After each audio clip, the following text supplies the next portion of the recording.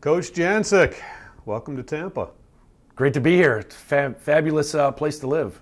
How did this come about? Obviously, the Bulls had a need. How did mm-hmm. you get intrigued about USF? I was intrigued. Um, obviously, I researched uh, Coach Taggart and his his background and, and the things that he's been able to do in his career, and then uh, I was fortunate to to be able to connect with him through some mutual friends, and uh, he provided an opportunity for me to come interview, and uh, came down and was really uh, really impressed not only uh, with Coach Taggart but the rest of the staff and uh, the area. Uh, great place to to live and raise a family, so it was exciting for me. What's your impression of the returnees in the defensive secondary in this program? I've been very impressed. we've got some talent here. we got to got to get them coached up and continue to grow. Uh, they've done a great job uh, in the past uh, with recruiting um, not just good athletes but good character kids. I mean, I've I can't tell you how many kids have come by and you know introduce themselves and shake your hand and look you in the eye, and uh, it's been very refreshing, very exciting for me to work with these guys. And uh, it, it's a first-class program. Uh, Coach Taggart and the staff has, has done a great job, and I'm excited to be a part of the team.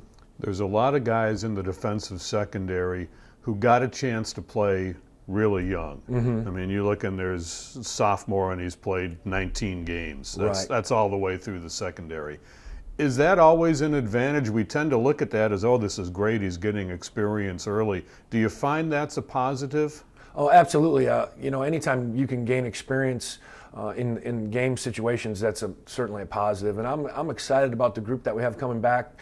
Uh, like you said, they do have some experience, and um, I'm I'm looking forward to, to helping them get to the next level. And that's my job as a coach to to try and enhance their game. Um, and we got some good members back there that uh, I think we can do it with.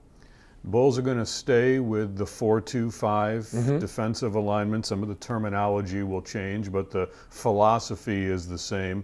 Is that new for you? Have you ever coached in that alignment? Does it make significant changes as a coach? Uh, no, it's, I'm very familiar with that. Uh, it's it's really just you're playing nickel uh, nickel package, which um, I've done most of my career, uh, especially against teams that are in three and four wides.